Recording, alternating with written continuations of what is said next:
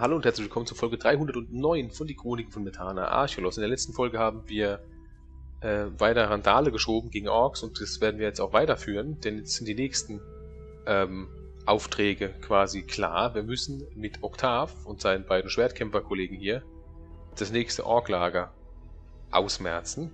Glaubst du, wir schaffen das hier heil wieder raus? Siehst du die beiden? Das sind die besten Schwertkämpfer auf ganz Archolos. Wenn du dir einen Kratzer einfängst, ist es ganz allein deine Schuld. Du weißt, wie man einen Mann motiviert. Okay, zum Angriff.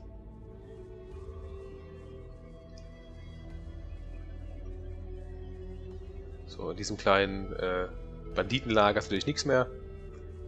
Interessanterweise ging das auch nur beim allerersten Mal an der Lurker-Küste, ne, dass man da sich hat, hätte hin teleportieren können.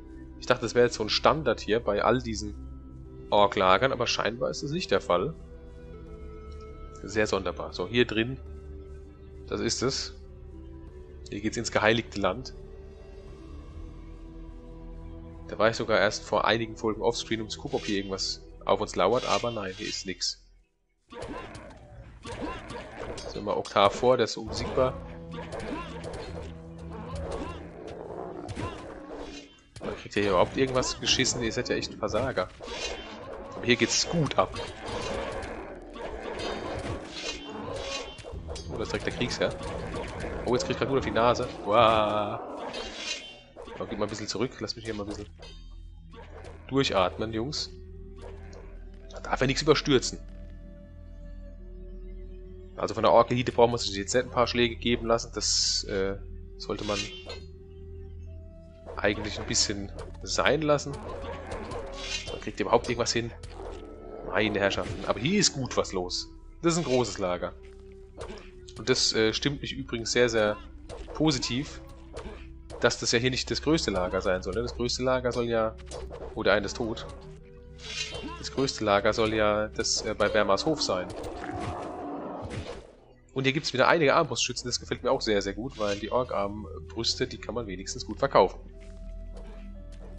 So, dass es den Kollegen hier erwischt hat, ist schade. 30 Gold, Mensch. Im Leben hätte ich mir nicht träumen können, die dem abzuknöpfen. So schade, dass er gestorben ist. Ich habe ihn gemocht. Nee, eigentlich ist er mir scheißegal. Wie gesagt, Oktav sollte unbesiegbar sein. Ich habe gerade ein bisschen Zweifel, aber ich denke mal, es wird okay sein. Das heißt, wir metzeln uns ja einfach durch die Gegend. Äh, der Hauptschaden kommt tatsächlich von uns. Ah, der andere ist auch draufgegangen scheinbar. Ja, nur noch Oktav lebt. Das passt mir eigentlich ganz gut begraben. So. Dieser Kriegsherr war ein zäher Hundesohn. Ja, wahrscheinlich hast du recht. Aber du, Marvin, ich habe noch nie jemand mit solch einer Entschlossenheit kämpfen sehen. Danke, du hast ihnen aber auch keine Chance gelassen. Ich gehe zurück zur Gruppe. Vielleicht kann ich noch nützlich, vielleicht kann ich noch nützlich sein, ja. Nützlicher als die anderen beiden Pappnasen. Die wurden nämlich ganz schön auseinandergenommen. So. Das heißt, wir haben hier alles mitgenommen. Das Lager war jetzt ordentlich. Ja, also, ich denke mal, beim nächsten Lager haben wir höchstwahrscheinlich einen Level-Up.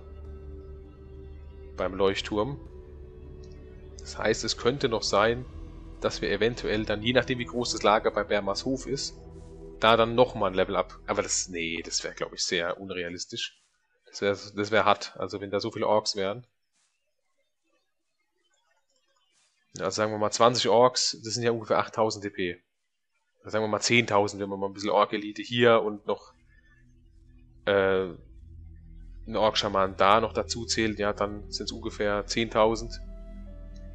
Aber wir brauchen ja fürs nächste Level ab fast 30.000, deswegen ist unrealistisch, aber ich denke, wir werden auf jeden Fall ein Level up sicher machen. Vielleicht sogar schon am Leuchtturm, wobei ich mir da wiederum vorstellen könnte, dass das Lager wieder kleiner sein könnte. Äh, aber dann gibt es auf jeden Fall bei Bermas Hof spätestens ein Level up. Ähm, und dann, je nachdem, vielleicht gibt es bei Bermershof dann nochmal einen guten, guten Zusatz fürs darauffolgende. Ne? Also wir werden es wahrscheinlich nicht erreichen, aber es könnte auf jeden Fall trotzdem eine gute Menge an EP sein, die wir... Gut, man habe hier gerade eben... Ich habe irgendwas blubbern hören. Entweder war das der Fluss. Ja, es war der Fluss. Ich dachte, es klang irgendwie wie so ein... Wie so jemand am Kessel von der Animation dass hier irgendwo eine Hexe einfach mal mit dem Wald rumlungert und gerade Bräu zusammenmischt. Denn wie gesagt, überraschen würde es mich in Archolos nicht. Aber gut, haben wir die nächsten auseinandergenommen. Nach einem erbitterten Kampf äh, ist der Kriegsherr aus den Tunneln hinter Ritas Weingut erschlagen. Bei Rita müssen wir davon ja gar nichts erzählen. Es ist besser, wenn die hier alle in Ruhe ihr Leben weiterführen. Aber hier haben wir jetzt natürlich wieder diesen anderen Fall, quasi wie der an der Lurkerküste, dass dieses äh, Lager hinzukam. Und ich, wie gesagt, ich war ja in Kapitel 5, hey, da war ein Dunkelpilz, oder? Unfassbar. Was zum Aufsammeln. Und ich war ja in Kapitel 5, wie gesagt, schon mal im südlichen Sumpf. Da war ja ein bisschen was äh, nachgespawnt. Dementsprechend wäre mir das in diesem äh, Tunnel aufgefallen.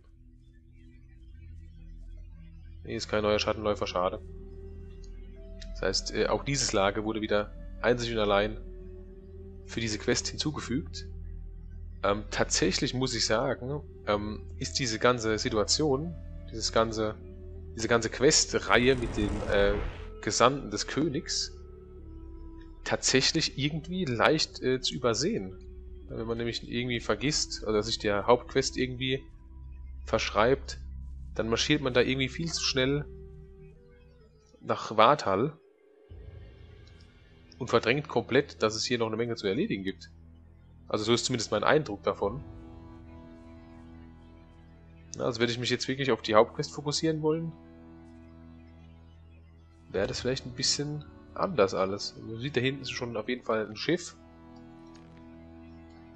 Hier waren wir in Kapitel 5 noch nicht. Da hinten beim Leuchtturm, aber ansonsten waren wir hier am Strand. Da waren dann auch noch irgendwie zwei Strandhaie oder einer. Und Feuerwarane. Da gucken wir mal, was jetzt hier abgeht. Da sind die Söldner von Garos.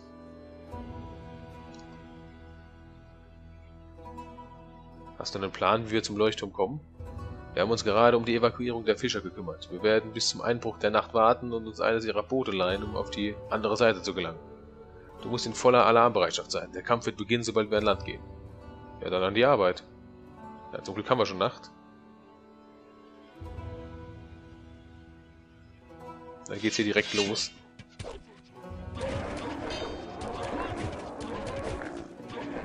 Geht's direkt heiß her, da ist direkt der oberste Kriegsherr. Der bös vom Garus kassiert. Übrigens. Das war's schon. Warum äh, geben sie uns immer die schlimmsten Aufgaben? Ich will lieber im Sumpf kämpfen, als auf dieser verdammten Insel. Glaub mir, dort war es genauso schwierig.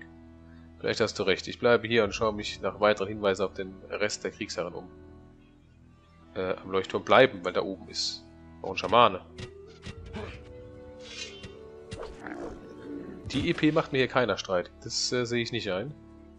Aber ja, das hier war natürlich jetzt erwartungsgemäß, ich habe es ja doch erwähnt, wahrscheinlich eher ein kleines Lager der Orks. Hier gab es nicht viele von den Kameraden. Ich krieg's ja nochmal einen Tank dabei und einen goldenen Ring, sehr gut. Hier fliegen noch ein paar Pfeile rum. Ein paar Orkwaffen. Das waren jetzt gerade mal, ich glaube, fünf. Zwei Armbrustschützen. Drei Krieger. Ein Schamane. Nein, dann waren es sieben. Nee, warte mal. Bin ich bescheuert? Kann ich nicht zählen? Nee, doch müssten sieben sein. Es sind sogar acht. Ja. Zwei Armbrustschützen. Drei Krieger. Ne, es sind sieben. Bin ich bescheuert? Hier sind zwei, da sind zwei, da sind zwei, da oben ist einer. Hat gerade einen Totalausfall im Kopf. So, aber ansonsten gibt's hier nichts, ne? Garus hat nichts mehr zu erzählen. Noch ein orgischer Kriegsherr weniger. Ich muss zu Kalebs Haus zurück und mit Eurik sprechen. Er muss schon ungeduldig sein. Genau, das ist ja der Letzte. Der auf die nächste Operation oder den letzten Teil der Operation wartet. Ansonsten waren wir hierher, hier gibt's nichts mehr. Die ganzen Ork-Galeeren da sind leider, leider, leider alle nur dekorationsbedingt hier. Das ist wie gesagt sehr, sehr schade. Aber was willst du machen? So, ich teste jetzt gerade mal kurz was. Ich hoffe, ich schaff's nur. In den wenigen äh, Ingame-Minuten, ja so nicht. Rüber zu marschieren. An die Bernsteinküste. Und gucken mal, ob die Fischer wieder da sind. Dann könnte man mit dem Fährmann nämlich gucken, ob man da die Zeit wieder zurückdrehen kann. Zum Beispiel, die sind gar nicht da. Na, dann penne ich einfach eine Runde.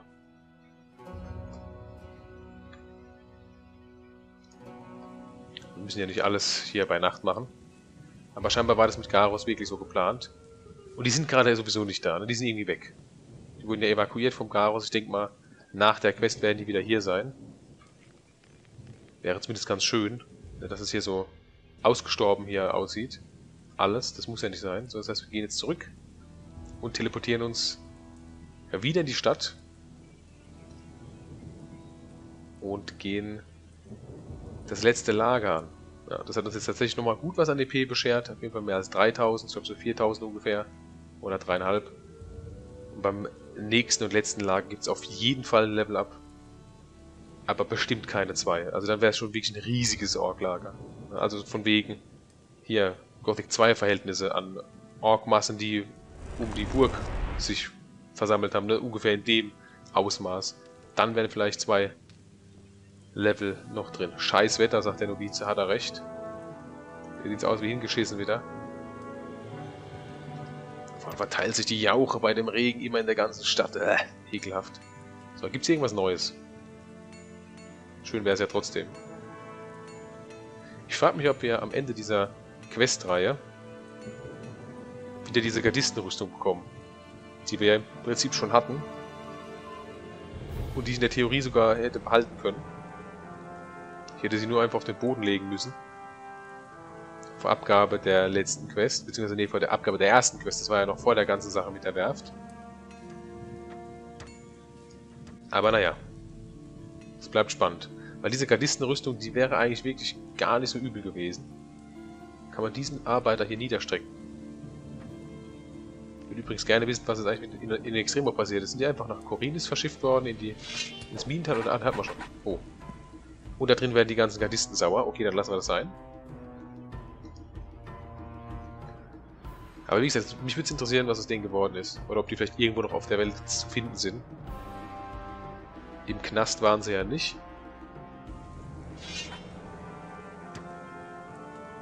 Kann man hier eigentlich rein? Ah, okay. Also hier, das, das wollte ich jetzt gerade nämlich wissen. Also manche Türen werden tatsächlich nicht benutzt. Die bleiben einfach Dekorationstüren. Mag ich ja eigentlich gar nicht sowas. Aber keine Ahnung, woran es gelegen hat. Vielleicht wollte man da nichts reinpacken, hätte man vielleicht irgendwie, wo wenn es nur ein kleiner Gerümpelschuppen ist, in dem man Besen findet und drei Gold und was weiß ich, ein Stück Kohle, aber scheinbar soll es wohl nicht so sein. Wo sind denn alle anderen? Es ist an der Zeit, dass wir Wermers Hof zurückerobern. Ich weiß nicht, wie lange die anderen den Hof noch von Verstärkung abschneiden können. Triff mich an der alten Windmühle. Ich hatte gehofft, der Rest würde sich uns anschließen. Jeder hat seine Rolle zu spielen. Keine Angst, Huxley kommt mit uns. Das ist auch gut so, wir sehen uns dann dort. Jetzt heißt die marschieren los. Das finde ich jetzt ein bisschen schade, dass dieser Treffpunkt halt so ein bisschen verkommt. Also ich sag mal, das ist halt irgendwie blöd, dass wir jedes Mal hier hinlaufen müssen, um die Quest quasi weiter voranzutreiben, um dann quasi die nächste äh, Location abzugrasen. Weil dafür ist mir auch jetzt der Dialog zu kurz. Wenn der Eurik jetzt noch irgendwas erwähnen würde, ein längeres Gespräch oder irgendwie von wegen, es hat sich so und so ergeben, wir müssen unseren Plan ändern, bla bla bla, dann wäre es vollkommen in Ordnung. Also es soll jetzt auch keine große Kritik oder so sein, das meine ich jetzt überhaupt nicht, aber es wirkt jetzt so ein bisschen blöd, dass jetzt jetzt wo Sätze fallen lässt und schon müssen wir wieder losmarschieren. Aber nun gut, ist okay. Das heißt, mit der anderen Questreihe bleiben wir erstmal ein bisschen bedeckt.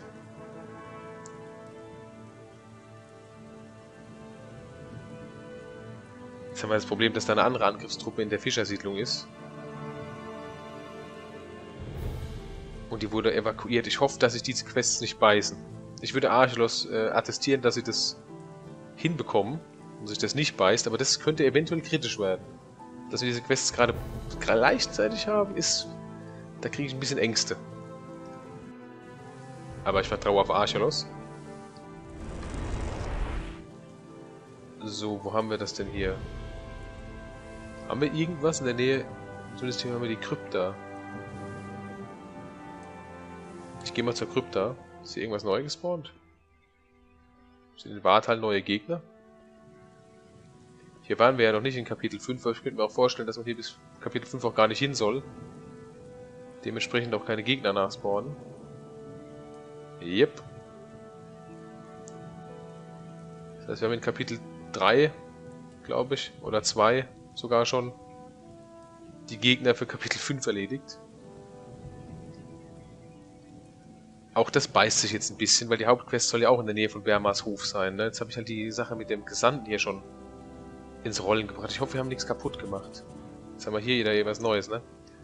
Aber ich kann weder Riordia noch Kessel sehen. Angesichts Kessels Entschlossenheit sind sie wohl ohne mich weitergezogen. Ich werde versuchen, sie einzuholen. Ja, okay, dann lassen wir die erstmal sein, wo sie sind. Die können mich mal kreuzweise. Wir müssen was ganz anderes erledigen. So die Frage, wo wir Eurik treffen sollen. Bei der alten Windmühle hat er gesagt. Das heißt, da vorne müsste irgendwo sein. Ja. Da sind sie auch schon, die Gardisten. Wo sind sogar mehrere? Oha, das sieht mir in einem größeren äh, Trupp aus. Jetzt könnte es interessant werden. Wie gesagt, ich hoffe nur, dass also mit, mit der Wartal-Sache wird es wahrscheinlich nichts, äh, keine Probleme geben. Aber die Sache mit Lorenzos Quest macht mir ein bisschen Sorgen. Bist du bereit zu sterben? Ich werde heute nicht sterben.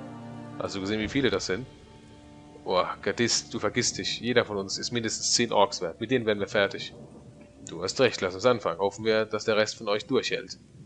Bin ich mal gespannt. Also laufen hier mit sechs Gardisten rein. Und es könnte tatsächlich, und auch schön bei Regenwetter. Ich habe nicht gesehen, wie viele es sind.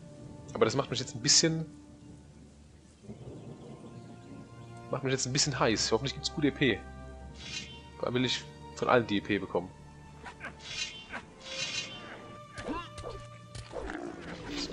Und die Armbrust nicht vergessen. Kommt ihr mit dem zurecht? Jungs, ihr seid so wack, das ist unfassbar.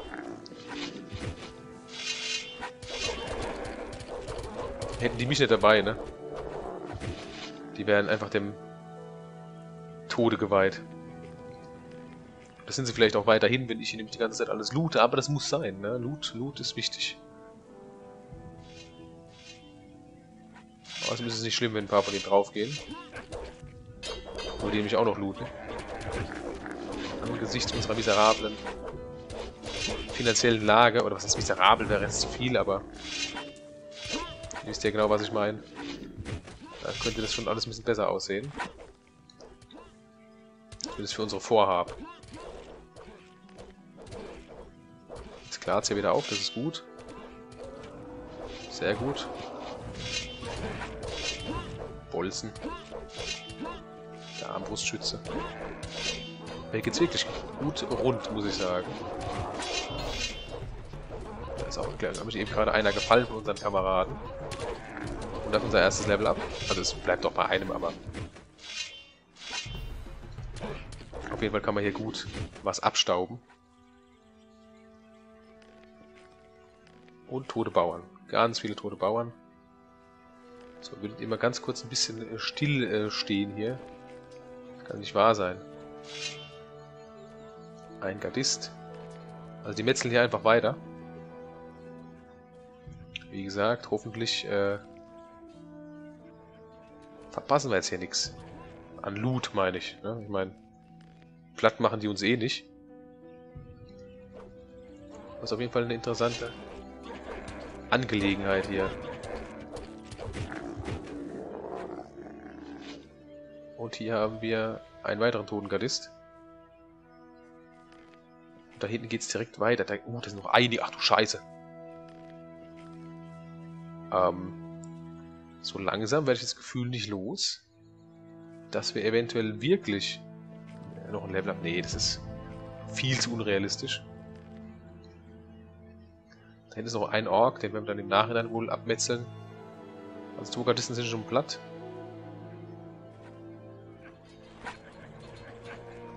Manche von denen haben halt auch leider keine Waffen dabei. Oder zumindest der eine. Ach du Scheiße, geht's ja. Also hier wird's krank. Da sägen wir uns mal durch, wie durch Butter.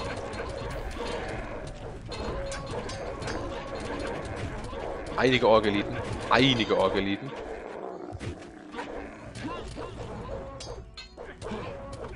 Die beiden sind unbesiegbar, denke ich mal.